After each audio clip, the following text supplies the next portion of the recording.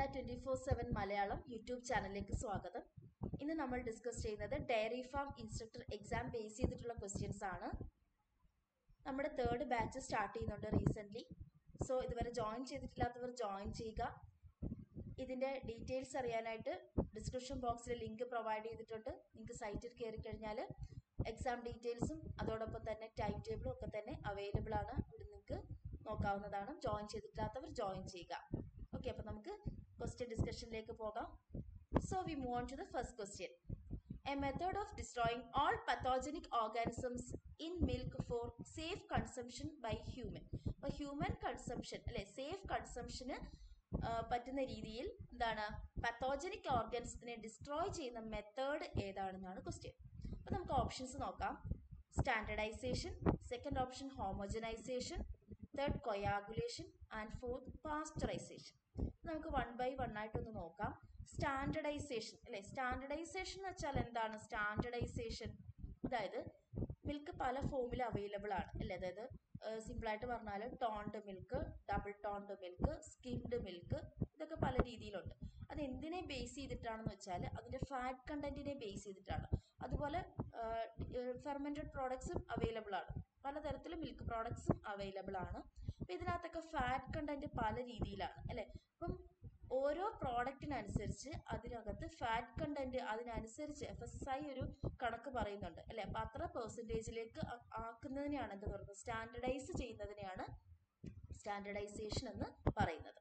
Clear standardisation എന്ന് പറഞ്ഞാൽ ആ ഫാറ്റിന്റെ വാല്യൂ ആ പെർസെന്റേജ് കറക്റ്റ് ചെയ്യുന്നതാണ്. നെക്സ്റ്റ് മിൽക്ക് പ്രോസസ്സിങ്ങുമായിട്ട് ബന്ധപ്പെട്ട് നമ്മൾ മൂന്ന് ടേംസ് അതായത് അതിന്റെ പ്രൊസീജിയറിനകത്ത് മൂന്ന് കാര്യങ്ങൾ നമ്മൾ പറയാറുണ്ട്. മിൽക്ക് പ്രോസസ്സിങ്ങിനകത്ത് എന്തൊക്കെയാണെന്ന് നോക്കാം?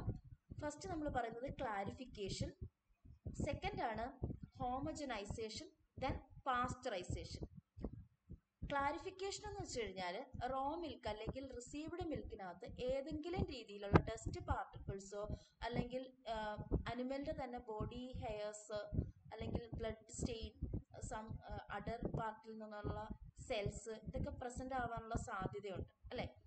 ഇതിന്റെയൊക്കെ പ്രസൻസ് ഉണ്ടെങ്കിൽ അല്ലെങ്കിൽ സോയിൽ പാർട്ടിക്കിൾസ് വരാം അല്ലെ? അപ്പൊ ഈ രീതിയിലുള്ള സോളിഡ് മെറ്റീരിയൽസിനെ റിമൂവ് ചെയ്യാൻ വേണ്ടി ഉള്ളൊരു മെത്തേഡാണ് ക്ലാരിഫിക്കേഷൻ എന്ന് പറയുന്നത്. ഓക്കെ ഈ ക്ലാരിഫിക്കേഷൻ തന്നെ രണ്ട് രീതിയിൽ ചെയ്യാം. ഗ്രാ ഗ്രാവിറ്റി മെത്തേഡ് ഉണ്ട് സെൻട്രിഫ്യൂഗൽ മെത്തേഡും ഉണ്ട്. ജസ്റ്റ് പറഞ്ഞതേ ഉള്ളൂ. അപ്പൊ ക്ലാരിഫിക്കേഷൻ നമ്മൾ പറഞ്ഞു.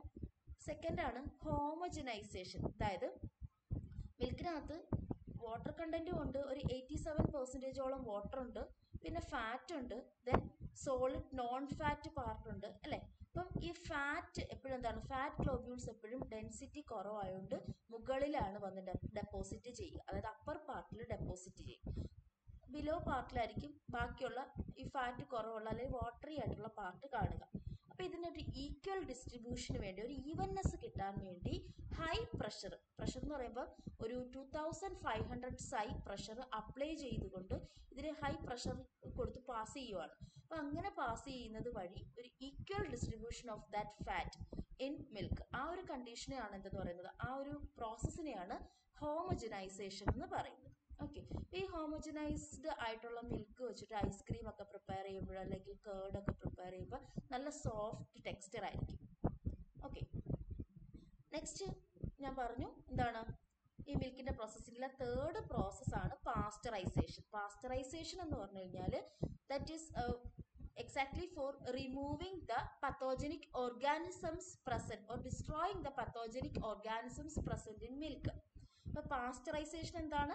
It's a method for destroying all pathogenic organism in milk അപ്പോൾ നമുക്ക് ഹ്യൂമൻ കൺസംഷന് വേണ്ടി അല്ലേ? ആ ഒരു ഹ്യൂമൻ കൺസംഷൻ പറ്റുന്ന രീതിയിലുള്ള ഒരു ലെവലിലേക്ക് മൈക്രോ ഓർഗാനിസത്തിനെ റിമൂവ് ചെയ്യുന്ന പ്രോസസ്സാണ് പാസ്റ്ററൈസേഷൻ അപ്പോൾ ഇതിന്റെ ആൻസർ വന്നിട്ട് എന്താണ്? ഓപ്ഷൻ ഫോർത്ത് ഓപ്ഷൻ ആണ് അല്ലെ? പാസ്റ്ററൈസേഷൻ ആണ് ആൻസർ ഇനി ഒരു കാര്യം കൂടി ഓർക്കുക. പാസ്റ്ററൈസേഷൻ നമ്മൾ നോർമലി മൂന്ന് രീതിയിലാണ് പറയുന്നത്. Low temperature low temperature long time അതായത് ഒരു ടെമ്പറേച്ചർ ടൈം കോമ്പിനേഷൻ ആണ് ഇവിടെ യൂസ് ചെയ്യുന്നത്. Low temperature for long time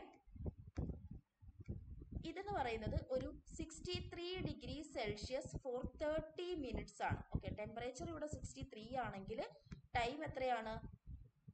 thirty minutes ആണ്. ഓക്കെ തേർട്ടി മിനിറ്റ്സ് ആണ് പ്രൊവൈഡ് ചെയ്യുന്നത്. നെക്സ്റ്റ് വരുന്നത് എന്താണ്? ഹൈ ടെമ്പറേച്ചർ ടെമ്പറേച്ചർ ഇവിടെ കുറച്ചുകൂടി കൂടുതലാണ്. ഹൈ ടെമ്പറേച്ചർ ഷോർട്ട് ടൈം കുറച്ച് സമയത്തേക്ക് മാത്രമേ കൊടുക്കുന്നുള്ളൂ. ഹൈ ടെമ്പറേച്ചർ ആയതുകൊണ്ട് തന്നെ കോമ്പിനേഷൻ എങ്ങനെയാണ് ടൈം ഷോർട്ട് ടൈമാണ് അല്ലെ? ഷോർട്ട് ടൈം ഇത് എത്രയാണെന്ന് നോക്കാം?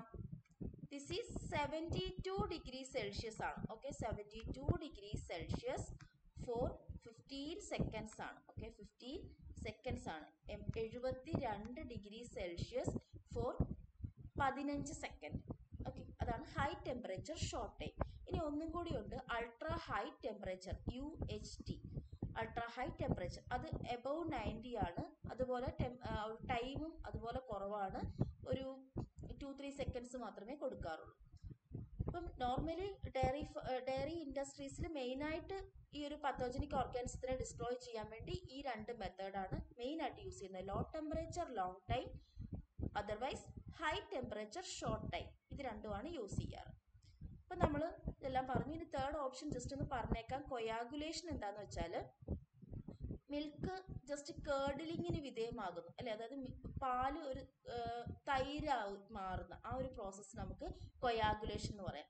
ഇപ്പം നമ്മൾ കാഫ്സിന്റെയൊക്കെ അതായത് റുമിനൻസ് ആയിട്ടുള്ള അല്ലെ കാഫ്സിന്റെ ഒക്കെ നമ്മൾ കേട്ടിട്ടുണ്ട്. എൻസൈം റെനിൻ എന്ന് പറയുന്ന ഒരു എൻസൈം ആക്ട് ചെയ്യുന്നുണ്ട്. അന്നേരമാണ് മിൽക്കിന് കൊയാഗുലേഷൻ സംഭവിക്കുന്നത്. അതായത് ഡൈജഷന് വേണ്ടി അത് മിൽക്ക് കൺവേർട്ട് ചെയ്യുവാണ് അവിടെ ചെയ്യുന്നത്.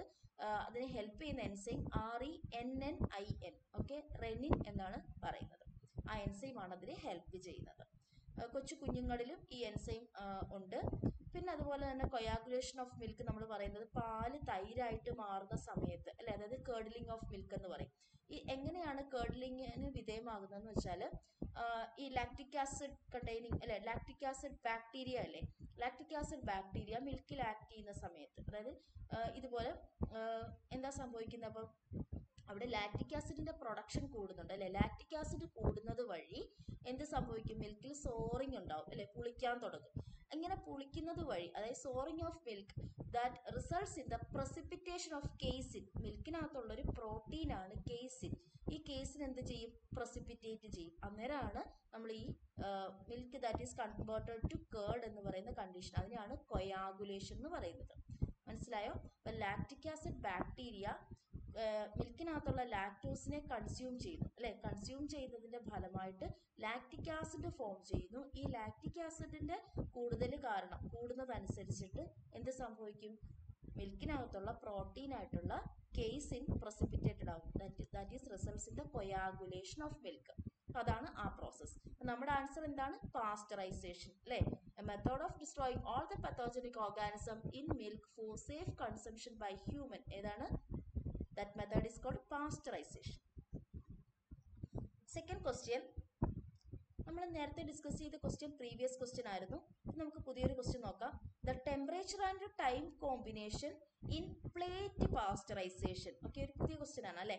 അതെന്താണ് ജസ്റ്റ് ഓപ്ഷൻസ് ഒന്ന് പറയാം. First option sixty three degree Celsius for thirty minutes seventy two degree Celsius for fifteen seconds and next seventy two degree Celsius for thirty minutes and one thirty four degree Celsius for thirty minutes അപ്പം ഇതിനകത്ത് നമുക്ക് familiar ആയിട്ടുള്ള രണ്ടെണ്ണം ഉണ്ട്. അല്ലെ? First and second option അറുപത്തിമൂന്ന് degree Celsius മുപ്പത് minute നമ്മൾ പാസ്റ്ററൈസേഷൻ പഠിച്ചതാണ്. അല്ലേ? അതായത് ലോ ടെമ്പറേച്ചർ ലോങ് ടൈമിൽ പഠിച്ചതാണ്. Then seventy two degree Celsius for fifteen seconds അത് ഹൈ ടെമ്പറേച്ചർ ഷോർട്ട് ടൈം അല്ലെ? ഇത് രണ്ടും പാസ്റ്ററൈസേഷൻ ഉള്ള ടെമ്പറേച്ചർ ടൈം കോമ്പിനേഷൻ ആണ്. ഇതിൽ ആൻസർ എന്തായിരിക്കും? ഇവിടെ ചോദിച്ചിരിക്കുന്നത് temperature and time combination in plate pasteurization എന്നാണ്. ഓക്കെ പ്ലേറ്റ് പാസ്റ്ററൈസേഷൻ എന്താണെന്ന് അറിഞ്ഞിരിക്കുക. അതായത് ഹൈ ടെമ്പറേച്ചർ ഷോർട്ട് ടൈം നമ്മൾ പറഞ്ഞ H D S T okay അതിനെ തന്നെ മറ്റൊരു പേര് വിളിക്കുന്നതാണ് പ്ലേറ്റ് പാസ്റ്ററൈസേഷൻ അപ്പോൾ plate pasteurization is otherwise called high temperature short time that pasteurization അല്ലേ? അപ്പോൾ അത് ഇതിലേതാണ് അതിന്റെ ഒരു കോമ്പിനേഷൻ ഹൈ ടെമ്പറേച്ചർ ഷോർട്ട് ടൈമിലെ ടെമ്പറേച്ചർ ടൈം കോമ്പിനേഷൻ നമുക്കറിയാം. That is seventy two degree Celsius for fifteen seconds അപ്പോൾ ഇതിന്റെ ആൻസർ എന്താണ്? Temperature time combination in plate pasteurization ഇതെന്ത് തന്നെയാണ്? ഹൈ ടെമ്പറേച്ചർ ഷോർട്ട് ടൈം അല്ലേ? High temperature short time is otherwise called plate pasteurization. So, the temperature time combination for high temperature short time or plate pasteurization is second option 72 degree Celsius for 15 seconds. Clear ആണല്ലോ confusion ഇല്ലല്ലോ okay so we move to the second third question ഇത് നോക്കിയേ the temperature used in high temperature short time pasteurization നമ്മൾ already പഠിച്ചതാണ് അല്ലേ? അപ്പൊ ഇതിനകത്തെ ആ ഒരു ഒരു ട്വിസ്റ്റ് നോക്കുക. High temperature short time pasteurization അല്ലേ? ഇത് നമ്മൾ ഓൾറെഡി നമുക്കറിയാം എത്രയാണ്? എഴുപത്തിരണ്ട് ഡിഗ്രി സെൽഷ്യസ് ആണ് അല്ലേ? എഴുപത്തിരണ്ട് ഡിഗ്രി സെൽഷ്യസ് ആണ് ടെമ്പറേച്ചർ എന്ന് നമുക്ക് ഓൾറെഡി അറിയാം. ഓക്കെ ഞാൻ ഈ ക്വസ്റ്റ്യൻ ഈ ക്വസ്റ്റ്യൻ എന്ന് പറയുന്നത് രണ്ടായിരത്തി പതിനഞ്ചിലെ ഫുഡ് സേഫ്റ്റി ഓഫീസറുടെ ക്വസ്റ്റ്യൻ ആണ്. അപ്പൊ ഇതിനകത്ത് നമ്മൾ ഓൾറെഡി ബൈഹാർട്ട് ചെയ്ത് വെച്ചിട്ടുണ്ട്. High temperature short time pasteurization seventy two degree Celsius ആണ്. പക്ഷേ ഓപ്ഷൻ തന്നിരിക്കുന്നത് നോക്കി ഫാരൻ ഹീറ്റിലാണ് അല്ലേ? ഫാരൻ ഹീറ്റിലാണ് അപ്പം നമുക്ക് ഈ കൺവേർഷൻ അറിയില്ലെങ്കിൽ എന്ത് സംഭവിക്കും? നമുക്ക് ആൻസറിലേക്ക് എത്താൻ കഴിയില്ല. ഡിഗ്രി സെൽഷ്യസിൽ നമുക്കറിയാം ബട്ട് ഫാരൻ ഹീറ്റിൽ നമുക്കറിയില്ല. അപ്പം നമ്മൾ ആ ഒരു കൺവേർഷൻ ഒന്നുകിൽ കാണാതെ പഠിക്കുക അല്ലെങ്കിൽ എന്ത് ചെയ്യാം ആ ഒരു കൺവേർഷൻ മനസ്സിലാക്കിയിരിക്കുക. അപ്പം ഞാൻ കൺവേർഷൻ ഒന്ന് പറയാം. അതായത് ഡിഗ്രി സെൽഷ്യസിലുള്ള വാല്യൂവിനെ നമുക്ക് ഫാരൻ ഹീറ്റിലോട്ട് കൺവേർട്ട് ചെയ്യണമെങ്കിൽ എന്ത് ചെയ്യണം? ഫാരൻ ഹീറ്റിലോട്ടാണ് കൺവേർട്ട് ചെയ്യേണ്ടതെങ്കിൽ ഫാരൻ ഹീറ്റ് വാല്യൂ സീക്കൽ ടു എന്ത് ചെയ്യണം?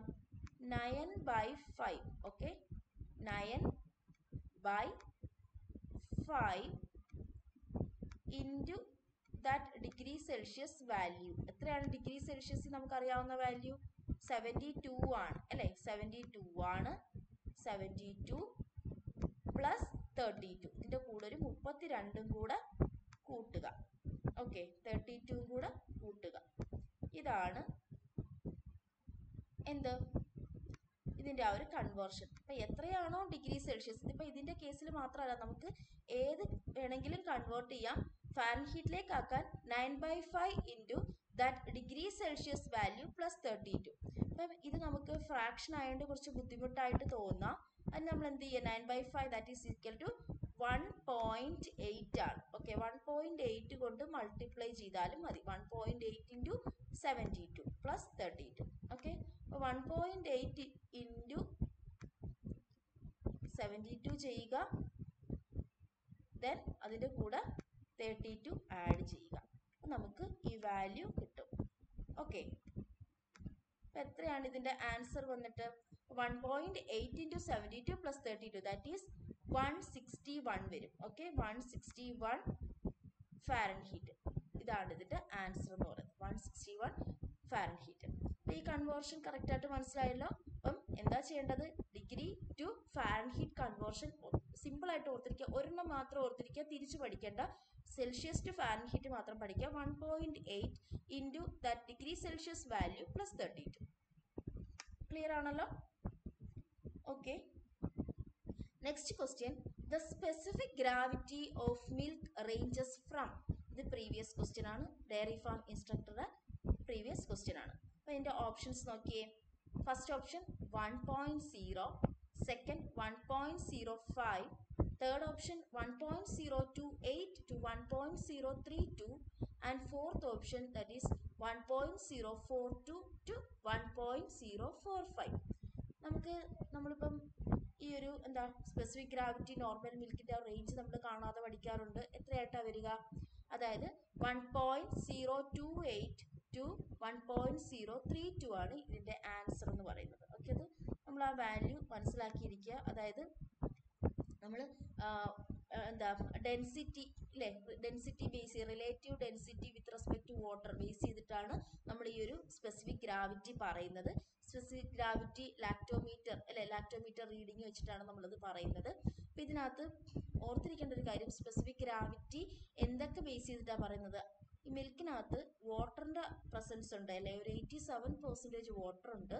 പിന്നെ റിമൈനിങ് അതിനകത്ത് ഞാൻ പറഞ്ഞായിരുന്നു ടോട്ടൽ സോളിഡ് അതിനകത്ത് മിൽക്ക് ഫാറ്റ് വരും പിന്നെ എസ് എൻ എഫ് വരും അല്ലേ? അതായത് സോളിഡ് നോൺ ഫാറ്റ് ഒക്കെ പ്രസന്റ് ആണ്. ഫാറ്റ് എന്ന് പറയുന്നത് ഡെൻസിറ്റി കുറവായതുകൊണ്ട് മുകളിലാണ് അപ്പർ പാർട്ടിൽ വന്ന് ഡെപ്പോസിറ്റ് ചെയ്യുന്നു. ലോവർ പാർട്ടിലായിരിക്കും ഫാറ്റ് കണ്ടന്റ് കുറവായിട്ടുള്ള വാട്ടറി പാർട്ട് വരുന്നത്. അപ്പം ഇതിന് രണ്ടിനെയും കൂടെ ബേസ് ചെയ്തിട്ടാണ് ഈ ഒരു റേഞ്ചിൽ വാല്യൂ വരുന്നത്. ഇതിനകത്ത് എന്തെങ്കിലും രീതിയിൽ വാട്ടർ ആഡ് ചെയ്യുകയൊക്കെ ചെയ്തു കഴിഞ്ഞാൽ നമുക്ക് ഈസിലി ഡിറ്റക്ട് ചെയ്യാൻ പറ്റും. ഈ സ്പെസിഫിക് ഗ്രാവിറ്റിയുടെ വാല്യൂ പെട്ടെന്ന് തന്നെ ചേഞ്ച് ആവും. ഈ വാല്യൂ ഓർത്തിരിക്കുക. One point zero two eight to one point zero three two അപ്പം നമ്മൾ ഈ വാല്യൂ കറക്റ്റായിട്ട് കാണാതെ പഠിച്ചു വെച്ചിരിക്കും അല്ലേ? അപ്പം നമുക്കിനി നെക്സ്റ്റ് ക്വസ്റ്റ്യൻ നോക്കാം. അപ്പം ഇച്ചിരി കൂടെ ടഫായിട്ടാണ് ആ ക്വസ്റ്റ്യൻ ചോദിച്ചിരിക്കുന്നത്. ഒന്ന് നോക്കിയേ. If the C L R of milk is twenty eight then the specific gravity of milk will be അതായത് നേരത്തെ ക്വസ്റ്റ്യൻ തന്നെ ആണ് അല്ലേ? അതിൽ തന്നെ വേരിയേഷൻ വന്നിട്ട് ഇതിനകത്ത് നമ്മൾ നോക്കിയേ. നമ്മൾ പഠിച്ച റേഞ്ച് എന്താണ്? One point zero two eight to one point zero three two ആണ്. അപ്പോൾ one point zero three two value ഇതിനകത്ത് പ്രസന്റ് ആണ്. വൺ പോയിന്റ് സീറോ ടു എയ്റ്റും ഇതിനകത്ത് പ്രസന്റ് ആണ്. അപ്പം നമുക്കൊരു കൺഫ്യൂഷൻ വരാം അല്ലേ? നമുക്ക് ഇതിനകത്ത് ആൻസറിലേക്ക് വരാൻ ബുദ്ധിമുട്ടാണ്. അപ്പം നമ്മൾ ഇതിന്റെ കുറച്ച് ഡീറ്റെയിൽ അറിഞ്ഞിരിക്കണം.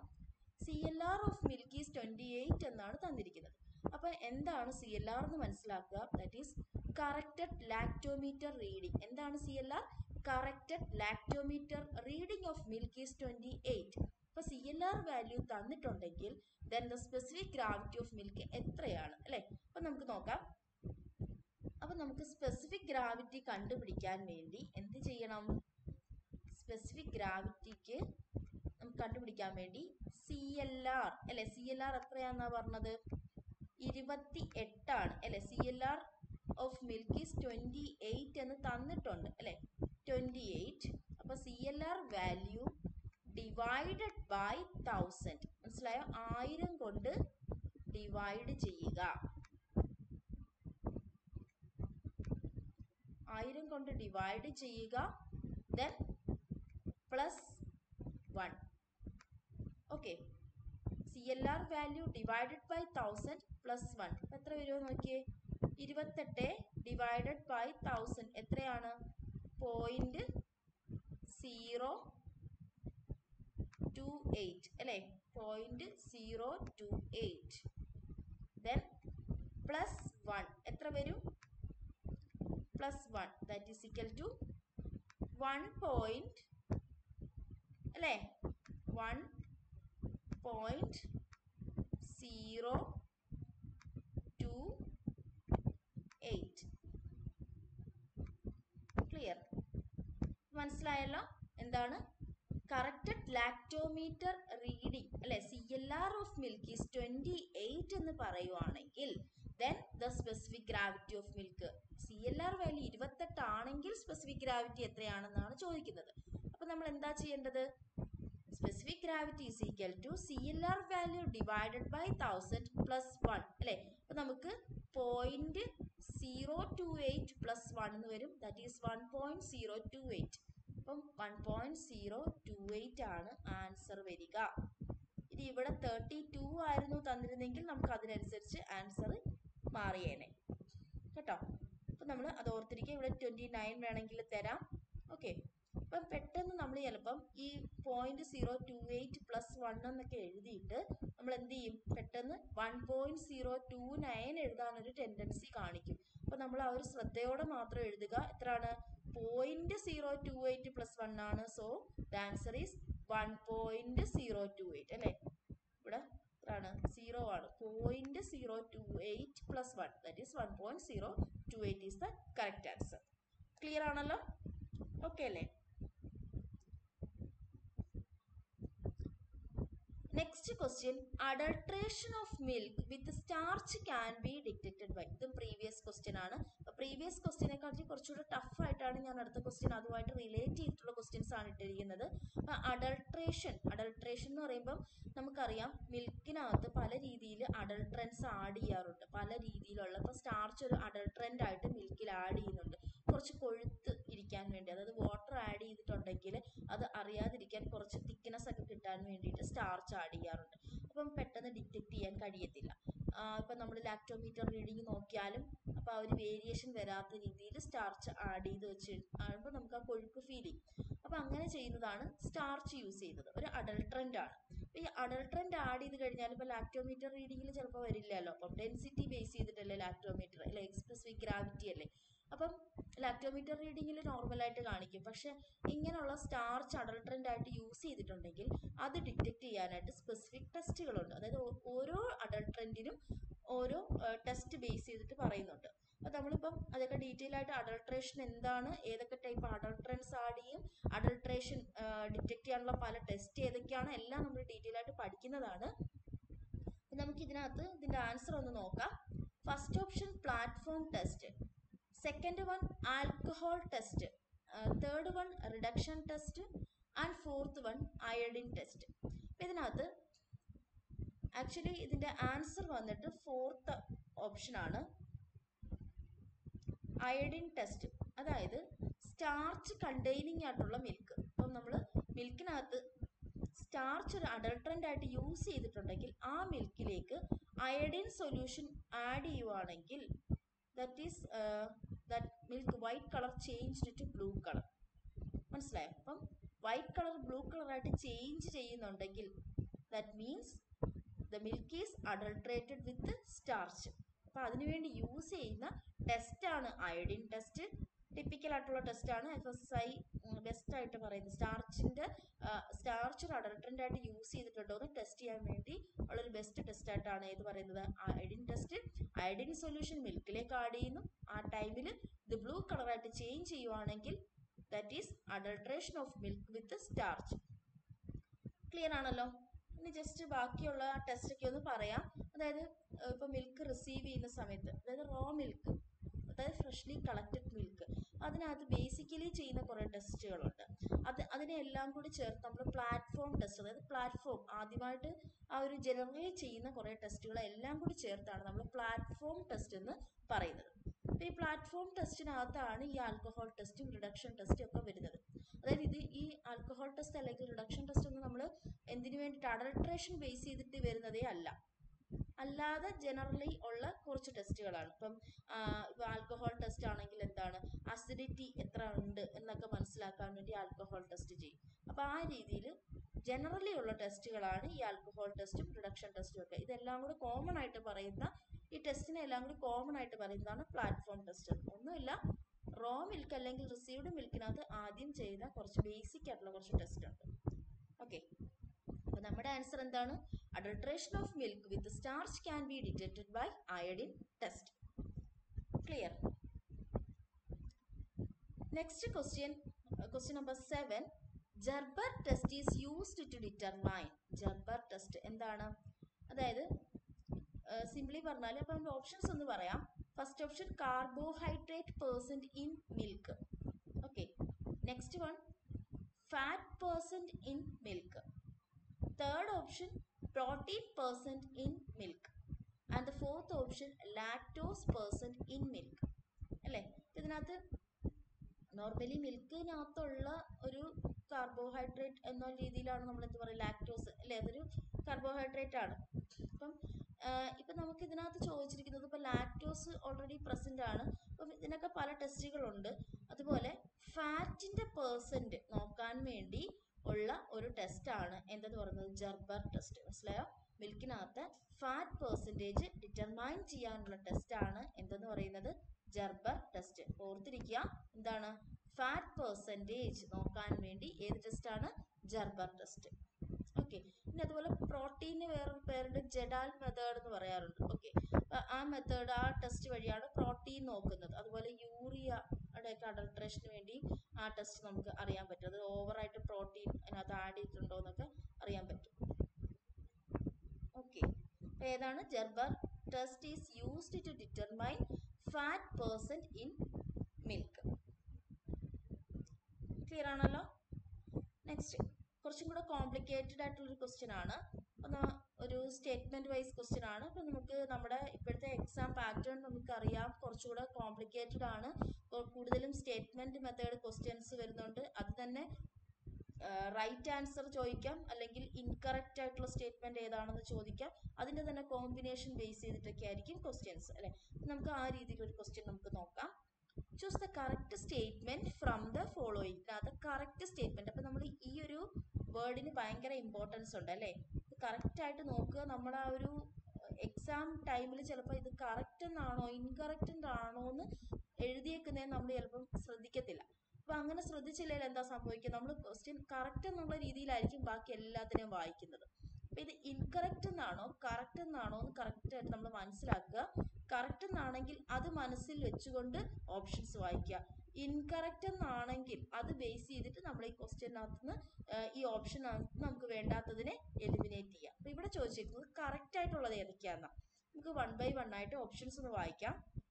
Option A sorry statement A Barfoed test is used for the detection of glucose okay second എന്താണ്? Statement iodine test for the detection of starch then iodometric test used for the detection of detergent then one more uh, statement iodometric test is used for the detection of hydrogen peroxide. Okay അപ്പം ഓർക്കുക normally ഇതിനകത്ത് ഈ പറയുന്ന glucose starch detergent hydrogen peroxide ഒക്കെ normally എന്താണ്? ഇതെല്ലാം adulterants ആണ്. മനസ്സിലായപ്പോൾ മിൽക്കിനകത്തേക്ക് അഡൾട്രൻസ് ആയിട്ട് ആഡ് ചെയ്യുന്ന സബ്സ്റ്റൻസ് ആണ്. ഇപ്പൊ ഗ്ലൂക്കോസ് ആഡ് ചെയ്യാം സുക്രോസ് ആഡ് ചെയ്യാം സ്റ്റാർച്ച് ദെൻ ഡിറ്റർജൻസ് ആഡ് ചെയ്യാറുണ്ട്. അതുപോലെ ഹൈഡ്രജൻ പെറോക്സൈഡ് ആഡ് ചെയ്യാറുണ്ട്. അമോണിയ സൾഫേറ്റ് ജലാറ്റിൻ യൂറിയ ഒക്കെ ഇതൊക്കെ ആഡ് ചെയ്യാറുണ്ട്. മനസ്സിലായോ? അപ്പൊ ഇതൊക്കെ ആഡ് ചെയ്യുന്നുണ്ടെങ്കിൽ അതൊക്കെ ഡിറ്റക്ട് ചെയ്യാനുള്ള എന്തുണ്ട്? ടെസ്റ്റുകളും അവൈലബിൾ ആണ്. അഡൾട്രേഷൻ ഓരോന്നിന്റെ അഡൾട്രേഷൻ കറക്റ്റ് ആയിട്ട് മനസ്സിലാക്കാൻ അതിന്റെതായ ടെസ്റ്റുകൾ അവൈലബിൾ ആണ്. അപ്പം അത് ബേസ് ചെയ്തിട്ടാണ് ഇവിടെ സ്റ്റേറ്റ്മെന്റ് ഇട്ടിരിക്കുന്നത്. അപ്പൊ ഗ്ലൂക്കോസിന്റെ പ്രസൻസ് അതായത് ഗ്ലൂക്കോസ് സുക്രോസ് ഒക്കെ ഓരോന്നിനും ഓരോ ടെസ്റ്റ് ആണ്. അപ്പൊ ഗ്ലൂക്കോസിന്റെ ഡിറ്റക്ഷന് വേണ്ടി ഉള്ള ഒരു ടെസ്റ്റ് ആണ് ബാഫോർഡ് ടെസ്റ്റ് ബാഫോ ടെസ്റ്റ് പല ടെസ്റ്റുകൾ ചിലപ്പോൾ ഉണ്ടായിരിക്കാം അതിൽ F S S I test എന്ന് പറയുന്ന ടെസ്റ്റ് ഏതാണ്? ബാഫോ test that is used for the detection of glucose okay അപ്പൊ നമ്മുടെ ഫസ്റ്റ് ഓപ്ഷൻ എന്താണ്? ഫസ്റ്റ് സ്റ്റേറ്റ്മെന്റ് കറക്റ്റ് ആണ്. Next iodine test is used for the detection of starch അത് നമ്മൾ already discuss ചെയ്തതാണ്. അയഡിൻ സൊല്യൂഷൻ മിൽക്കിലേക്ക് ആഡ് ചെയ്യുന്ന സമയത്ത് എങ്ങാനും സ്റ്റാർച്ചിന്റെ പ്രസൻസ് മിൽക്കിൽ ഉണ്ടെങ്കിൽ എന്ത് സംഭവിക്കും? That milk white colour is changed to blue colour okay അപ്പോൾ അതെന്താണ്? അഡൾട്രേഷൻ ഡിറ്റക്ട് ചെയ്യാനുള്ള ഒരു ടെസ്റ്റ് ആണ്. അല്ലെ അയഡിൻ ടെസ്റ്റ് സ്റ്റാർച്ചിന്റെ ഡിറ്റക്ഷന് വേണ്ടിയിട്ടാണ്. ഈ സ്റ്റാർച്ച് ഒക്കെ എന്തിനാ ആഡ് ചെയ്യുന്നതെന്ന് അറിയാമോ അതായത് നമ്മൾ പറഞ്ഞു ഇപ്പം സ്റ്റാർച്ച് ഒക്കെ ആഡ് ചെയ്യുന്ന വഴി ഇപ്പം നമ്മൾ ഓൾറെഡി മിൽക്കിനകത്ത് അഡൾട്രന്റ് ആയിട്ട് കുറച്ച് വാട്ടർ ആഡ് ചെയ്യും അല്ലേ? അപ്പോൾ അതിന്റെ സ്പെസിഫിക് ഗ്രാവിറ്റി ഒക്കെ ചേഞ്ച് ആവും. അപ്പോൾ അതിനെ ഓവർകം ചെയ്യാൻ വേണ്ടി അല്ലെങ്കിൽ ആ ഒരു എന്താ എസ് എൻ എഫ് ഒക്കെ കൂട്ടാൻ വേണ്ടിയിട്ടാണ് സാധാരണ ഈ രീതിയിൽ അയഡിൻ സ്റ്റാർച്ച് ഒക്കെ ആഡ് ചെയ്യുന്നത് അപ്പോൾ അതിന്റെ കൊഴുപ്പൊക്കെ കുറച്ച് മെയിന്റെയിൻ ചെയ്യാൻ വേണ്ടിയിട്ട്. അതുപോലെ ഡിറ്റർജന്റും ആഡ് ചെയ്യാറുണ്ട്. ഡിറ്റർജന്റ് ആഡ് ചെയ്താലും ഇതുപോലെ ഒരു എഫക്റ്റ് ഉണ്ടാകാറുണ്ട്. അതുപോലെ ഹൈഡ്രജൻ പെറോക്സൈഡ് ഈ ഹൈഡ്രജൻ പെറോക്സൈഡ് അതുപോലെ അമോണിയം സൾഫേറ്റ് ഒക്കെ ആഡ് ചെയ്യുന്നത് വഴി ഈ ഇതിന്റെയൊക്കെ പ്രസൻസ് എന്ന് പറഞ്ഞു കഴിഞ്ഞാൽ ഇപ്പം നമ്മുടെ ബോഡിയിൽ ഈ ഹൈഡ്രജൻ പെറോക്സൈഡിന്റെയൊക്കെ ഒരു പരിധി കൂടുതലാവുകയാണെങ്കിൽ അതുപോലെ അമോണിയം സൾഫേറ്റ് ഇതൊക്കെ നമ്മുടെ ബോഡിയിൽ ഹെൽത്തിനെ ബാധിക്കുന്ന കാര്യമാണ് അല്ലേ? അതുപോലെ എന്താണ് ഗ്യാസ്ട്രിക് ബേസ് ചെയ്ത് ഗ്യാസ്ട്രോ ഇന്റസ്റ്റൈനൽ പ്രോബ്ലംസും ഒക്കെ ഉണ്ടാകാൻ സാധ്യതയുണ്ട്. അതുപോലെ തന്നെ അഡൾട്രൻസ് ആഡ് ചെയ്യുന്നത് വഴി ഇത് ഫോളിക് ആസിഡിന്റെ എന്താ ഡീഗ്രഡേഷന് വിധേ കാരണമാകാറുണ്ട്. അതൊക്കെ ഹ്യൂമൻ ഹെൽത്തിനെ അഫക്റ്റ് ചെയ്യാറുണ്ട്. അപ്പൊ ഈ രീതിയിലുള്ള അഡൾട്രൻസ് ഉണ്ടോ എന്ന് ചോ ചെയ്യേണ്ടത് ഇമ്പോർട്ടന്റ് ആണ്. അപ്പോൾ അത് ബേസ് ചെയ്തിട്ടുള്ള ടെസ്റ്റ് ആണ് ഇതൊക്കെ. അപ്പൊ നമ്മൾ actually iodometric test that is used for the detection of hydrogen peroxide ആണ്. ഓക്കെ ഹൈഡ്രജൻ പെറോക്സൈഡിന്റെ ഡിറ്റക്ഷന് വേണ്ടിയിട്ടാണ് ഐഡോമെട്രിക് ടെസ്റ്റ് യൂസ് ചെയ്യുന്നത്. മറ്റു ടെസ്റ്റുകളും ഉണ്ട്. എന്നാൽ ഐഡോമെട്രിക് ടെസ്റ്റ് ആണ് ബെസ്റ്റ് ടെസ്റ്റ് ആയിട്ട് പറയുന്നത്. ഓക്കെ അതുപോലെ ഡിറ്റർജന്റ് ഡിറ്റർജന്റിന്റെ പ്രസൻസ് അതായത് ഡിറ്റർജന്റ് ആഡ് ചെയ്തിട്ടുണ്ടോ? അഡൾട്രന്റ് ആയിട്ട് ഡിറ്റർജന്റ് ആഡ് ചെയ്തോന്ന് ഉള്ള ടെസ്റ്റ് എന്ന് പറയുന്നത് മെഥിലീൻ ബ്ലൂ ടെസ്റ്റ് ആണ്. ഓക്കെ ഇവിടെ നമുക്ക് തന്നിരിക്കുന്നത് ഐഡോമെട്രിക് ടെസ്റ്റ് ആണ്.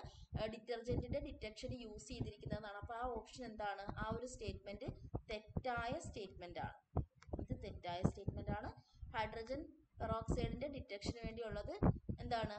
ഐഡോമെട്രിക് ആണ്. ഐഡോമെട്രിക് ടെസ്റ്റ് അപ്പൊ നമുക്ക് ഈ ഐഡിൻ ടെസ്റ്റുമായിട്ട് കൺഫ്യൂഷൻ വരേണ്ട. Iodometric test is used for the detection of hydrogen peroxide and for the detection of detergents it is methylene blue test okay അതുപോലെ യൂറിയയുടെ യൂറിയയുടെ ഡിറ്റക്ഷന് വേണ്ടി ഡി എം എ ബി എന്ന് പറയുന്ന ടെസ്റ്റ് ഉണ്ട്. ഓക്കെ അങ്ങനെ. അപ്പം നമുക്കിതിനകത്ത് ഈ സ്റ്റേറ്റ്മെന്റിനകത്ത് കറക്റ്റ് ആയിട്ടുള്ളത് ഏതൊക്കെയാണ്? എയും ബിയും ഡിയും ആണ് അല്ലേ? A B and D so second option is the correct one A B and D are the correct statement in the following okay അപ്പം റോങ് സ്റ്റേറ്റ്മെന്റ് ഏതേ ഉള്ളൂ? സി മാത്രമാണ്. ഓക്കെ അപ്പൊ ഇവിടെ കറക്റ്റ് ആണോ ഇൻകറക്റ്റ് ആണോ തന്നിരിക്കുന്നതെന്ന് നോക്കുക. ക്ലിയർ ആണല്ലോ? ഓക്കെ അല്ലേ? Next question the bacterial culture used to prepare yogurt contain അതായത് യോഗേർട്ട് എന്ന് പറഞ്ഞു കഴിഞ്ഞാൽ എന്താണ്? അതൊരു ഫെർമെന്റഡ് പ്രോഡക്റ്റ് ആണ് അല്ലെ? അതായത് മിൽക്കിന്റെ ഒരു ഫെർമെന്റഡ് പ്രോഡക്റ്റ് ഫെർമെന്റേഷന് വിധേയമായി അല്ലെ? ബാക്ടീരിയൽ കൾച്ചർ യൂസ് ചെയ്യുന്നുണ്ട്. മിൽക്ക് ഇത് കൊയാഗുലേറ്റ് ചെയ്ത് കേർഡ്ലിങ് വിധേയമാവുന്നുണ്ട്. അപ്പോൾ ഫെർമെന്റഡ് പ്രോഡക്റ്റ് ആണ് യോഗേർട്ട് എന്ന് പറയുന്നത്. ഓക്കെ നമ്മൾ ഈ തൈര് പറയത്തില്ലേ? അതായത് ദഹി അല്ലേ? ദഹി ഓർ കേർഡ് അതിന്റെ അതേ ഫേംനെസ്സും അതുപോലെ ആ ഒരു ടെക്സ്ചറും ഒക്കെ തന്നെയാണ് യോഗേർട്ടിനും വ്യത്യാസം എന്ന് പറഞ്ഞു കഴിഞ്ഞാൽ തൈര് പ്രിപ്പയർ ചെയ്യുമ്പോൾ നമ്മൾ സ്പെസിഫിക് ആയിട്ട് ബാക്ടീരിയ പറയാറില്ല. ലാക്ടിക് ആസിഡ് പ്രൊഡ്യൂസിങ് ആയിട്ടുള്ള ബാക്ടീരിയനെ ഒക്കെ യൂസ് ചെയ്യാറുണ്ട്. അല്ലെ? അല്ലെങ്കിൽ നാച്ചുറൽ ആയിട്ട് ലൈം യൂസ് ചെയ്തിട്ടൊക്കെ നമ്മൾ എന്ത് ചെയ്യാറുണ്ട്? ഈ കേർഡ്ലിംഗ് ചെയ്യാറുണ്ട്. പക്ഷേ ഈ യോഗോട്ട് എന്ന് പറയുമ്പോൾ കുറച്ചുകൂടെ സ്പെസിഫിക് ആണ്. അതിനുവേണ്ടി സ്പെഷ്യൽ ആയിട്ടുള്ള സ്പെസിഫിക് ആയിട്ടുള്ള സെലക്റ്റീവ് ആയിട്ടുള്ള ബാക്ടീരിയൽ കൾച്ചറാണ് യൂസ് ചെയ്യുന്നത്. അതുപോലെ തന്നെ കേർഡ് അല്ലെങ്കിൽ ദഹിയുടെ അത്രയും തന്നെ ആ ഒരു സോറിങ് കണ്ടീഷൻ ഇവിടെ വരുന്നില്ല. അപ്പൊ ഇവിടെ നമ്മൾ യൂസ് ചെയ്യുന്ന ബാക്ടീരിയൽ കൾച്ചർ എന്ന് പറഞ്ഞാൽ മെയിൻ ആയിട്ട് നമുക്ക് കോമൺലി പറയുന്നത് സ്ട്രെപ്റ്റോകോക്കസ് തെർമോഫില്ലസ് ഓക്കെ സ്ട്രെപ്റ്റോകോക്കസ് എന്ന് പറയുന്നതിന്റെ ജീനസ് ആണ് തെർമോഫില്ലസ് എന്ന് പറയുന്നത് സ്പീഷീസ് അല്ലെ? Streptococcus thermophilus sub species thermophiles ഇതാണ് ഒരു bacterial culture that is used for the preparation of yogurt അതിന്റെ കൂടെ കോമ്പിനേഷൻ ആയിട്ട് എന്തും യൂസ് ചെയ്യാറുണ്ട്? ഈ ഓപ്ഷനകത്ത് നോക്കാം. ഓപ്ഷൻ ഫസ്റ്റ് ഓപ്ഷൻ എന്ന് പറയുന്നത് Lactobacillus bulgaricus second option Yersinia enterocolitica third option Alcaligenes viscolactis fourth option Escherichia coli ഇതിനകത്ത് നമുക്ക് പെട്ടെന്ന് കാണുമ്പം കേർഡ് ലാക്ടിക് ആസിഡ് ബേസ് ചെയ്തിട്ട് ചിലപ്പം ലാക്ടോബാസിലസ് എന്ന് പറയുന്ന ആൻസറിലേക്ക് വരാം. പക്ഷെ ഇവിടെ ചിലപ്പോൾ വേറെ തന്നിട്ടുണ്ടെങ്കിൽ നമുക്ക് കൺഫ്യൂസിങ് ആയിട്ട് വേണമെങ്കിൽ ഇതിനകത്ത് തേർഡ് ഓഫ് സെക്കൻഡ് ഓപ്ഷനൊക്കെ തരാവുന്നതേ ഉള്ളൂ.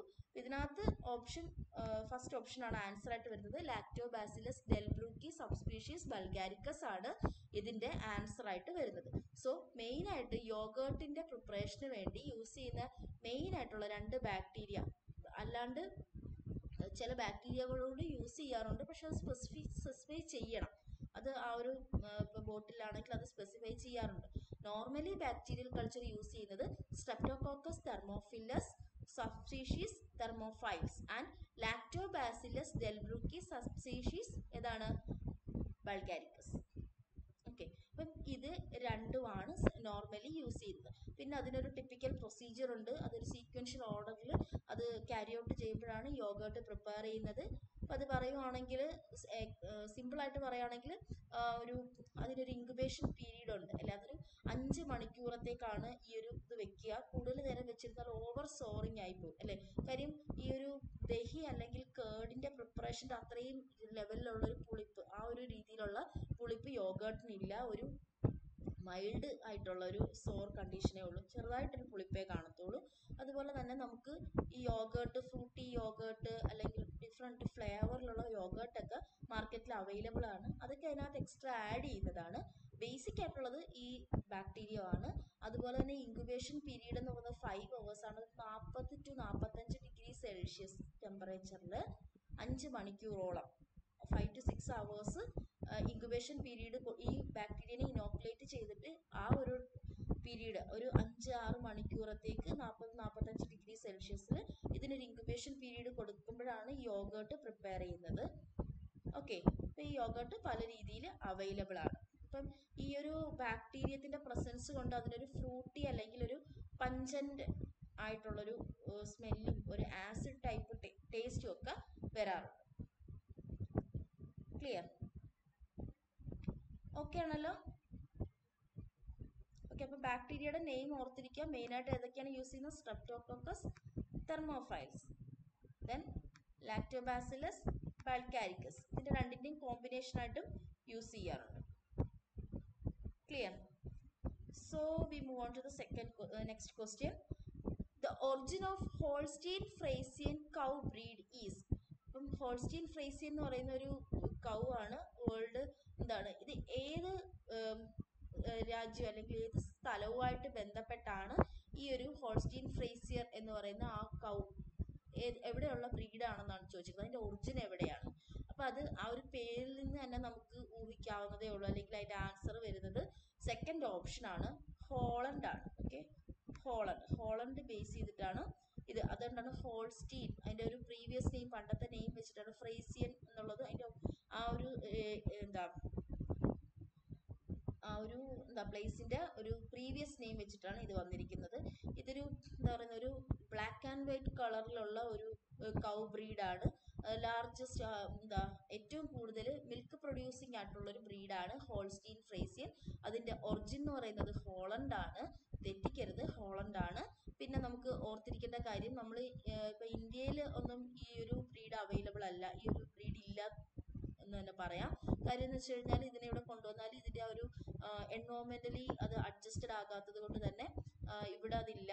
അപ്പോൾ ഇത് ഹോളണ്ടിലാണ് കൂടുതലായിട്ടുള്ളത്. അല്ലെങ്കിൽ അങ്ങനെയുള്ള ഏരിയാസിലാണ് കൂടുതലുള്ളത്. ഇത് ഒറിജിൻ ഹോളണ്ട് ആണെന്ന് ഓർക്കുക. ഒരു ബ്ലാക്ക് ബ്ലാക്ക് ആയിട്ടുള്ള ഒരു ബ്ലാക്കിന്റെ ഒരു വൈറ്റിന്റെ ഒരു ബ്രീഡ് ബ്ലാക്ക് ആൻഡ് വൈറ്റ് കോമ്പിനേഷനിലുള്ള ഒരു കൗ ആണ് ഈ ഹോൾസ്റ്റീൻ ഫ്രേസി എന്ന് പറയുന്നത്. അതുപോലെ ഇന്ത്യയിൽ ഉള്ള മിൽക്ക് കൗവിൽ നമ്മൾ ഏറ്റവും മിൽക്ക് പ്രൊഡ്യൂസിങ് ആയിട്ടുള്ള ലാർജസ്റ്റ് ആയിട്ട് മിൽക്ക് പ്രൊഡ്യൂസിങ് ആയിട്ടുള്ള ഒരു അതായത് ഈൽഡ് കൂടുതലായിട്ടുള്ള ഒരു കൗവിന്റെ നമ്മൾ പറയുന്നത് സഹിബോളാണ് സഹിബോൾ. പിന്നെ മിനിയേച്ചർ വേൾഡസ്റ്റ് മിനിയേച്ചർ കൗ എന്ന് പറയുന്നത് ഏതാണ്? ഏറ്റവും ചെറിയ പശു മിനിയേച്ചർ കൗ.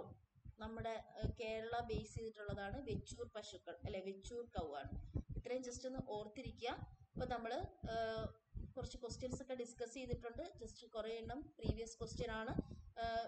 റിമൈനിങ് പാർട്ട് എന്ന് പറയുന്നത് കുറച്ച് പുതിയ ക്വസ്റ്റ്യൻസ് ഇട്ടിട്ടുണ്ട്. അപ്പൊ നിങ്ങൾക്ക് ഇത് യൂസ്ഫുൾ ആയിട്ടുണ്ടെന്ന് കരുതുന്നു. അപ്പൊ നിങ്ങൾ ഇത് ഇതിൽ ജസ്റ്റ് ഒന്ന് നോക്കുക.